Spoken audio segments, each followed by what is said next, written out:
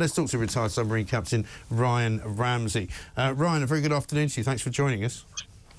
Good afternoon. Thanks for having me on. Um, very, very unusual this story, isn't it? I mean, the Titanic seems to attract an awful lot of, um, you know, curiosity seekers, I suppose, if you want. James Cameron, um, the director of the movie, uh, sent a submarine down, I think, an unmanned one, some years ago, and there was another project, I think, on the go around about the same time.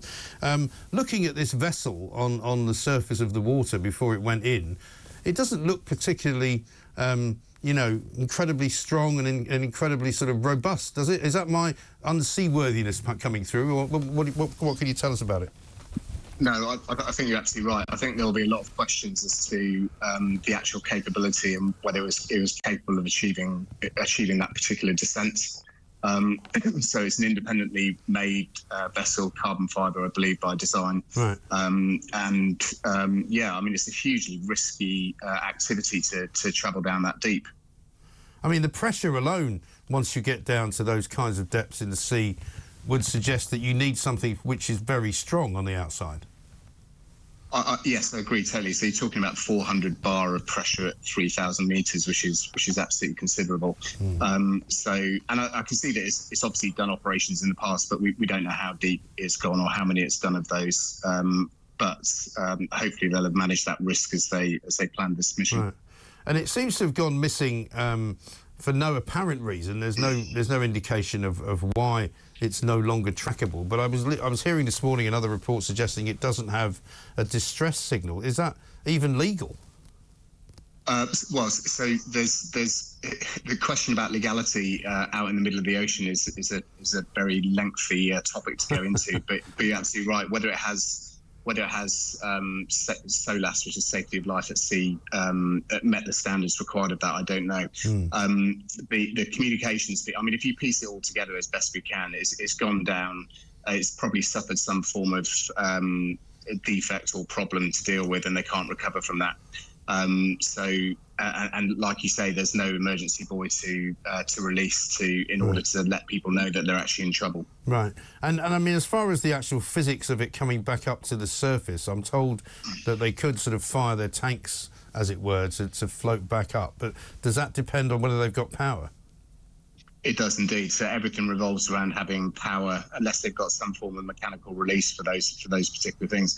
But I think it's a bit more um, it's, it's, a bit more complex than that. So mm. just the tanks alone won't be enough to enable it to surface. Right. And I mean, the Titanic, as I say, has, has been a sort of curiosity, um, hasn't it, for, for ever since it, ever since the event itself, ever since this, it set sail uh, on that fateful day uh, back in 1912. I mean, what is it about the Titanic, do you think, that, that sort of fascinates people so much? Yeah, it's, it's, a really good question, and I think um, it's romantic.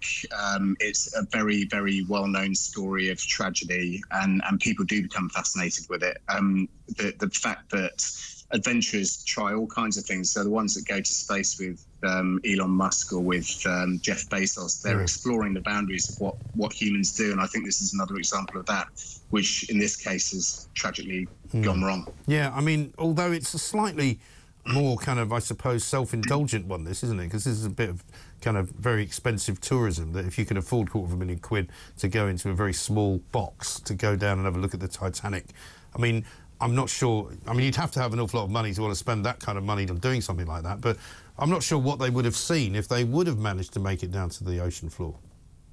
Well, I, I, think that it's fitted with um, searchlights, so they would have seen some of it, but you'd never be able to conceptualise the the um, the whole Titanic. You'd just see pieces of it. Mm. I mean, you, you need huge amounts of light in order to be able to to show the whole thing. So um, yes.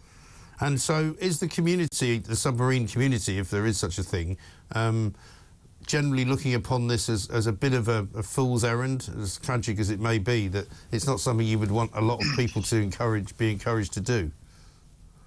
Yeah, so I think there's two ways of looking at this. So the submarine community um, around the world, whenever there's a rescue for, for submariners and submarines, they pull together and, and use uh, rescue systems that are universal ac- across the um, across the world. Mm. Uh, however, in this particular case, like you say, it's, it's consumer um, or, or, tourism. Um, and it's a submersible, and the submarine service can't really help in those those particular areas. There's, there's not a lot we can do to, mm. to, to, support them in this particular case. No, quite. I, I, rather than describing it as a fool's errand, I think a, a, a mission that's gone wrong, a um, tourism that's gone wrong, and and um, yeah, my, my thoughts are with the families. Of course.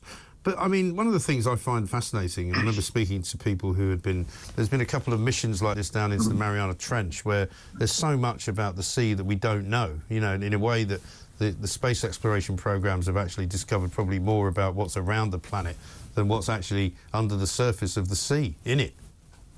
That, that's absolutely correct. So, so the, the um, I, I, I, wrote about this uh, a while back that the, the sea is less explored than space. Yeah and yet it holds vast amounts of um, potential for, for, for, for, the human race. Mm. Um, and yet we don't we don't invest enough time um, researching it and making sure that we, we make the most of it. And, and the sea can be a really horrendous place to operate. You, you have to really, really respect the sea as a mariner. It controls you. You don't control it. You just get to operate in its environment. Yeah. Oh, absolutely terrifying. I mean, I remember my parents once came to see me when I lived in New York. They came to see me on a QE2, um, and they had a storm on the way, and they were like, they said, "Never been more frightened in in our lives." You know, sort of 50 foot waves, this huge ship just going up and down like this, crashing down.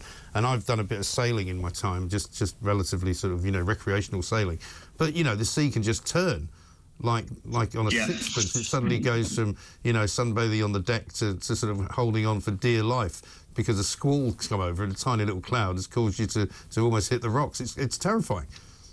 It, it really is, and, and, operating under the sea, uh, as I've done for, for, for a great proportion of my life, um, is, is the same there. That things change instantaneously. The characteristics of the ocean that you're traveling through or operating within can change mm. really, really quickly.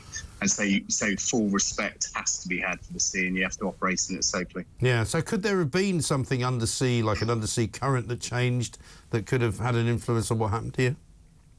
Um, potentially, but I think at that depth you don't see too much current activity. I, I, suspect that it's been a mechanical or electrical failure of some kind that has led to complete loss of uh, electrics or a potential break in the pressure hull itself, which would have resulted right. in explosion. So, right, and I mean, as much as it doesn't sound as though there's much that we can look forward to here, is there is there any kind of hope hopeful sign that, that you would look forward to see, to see that they're still actually you know alive?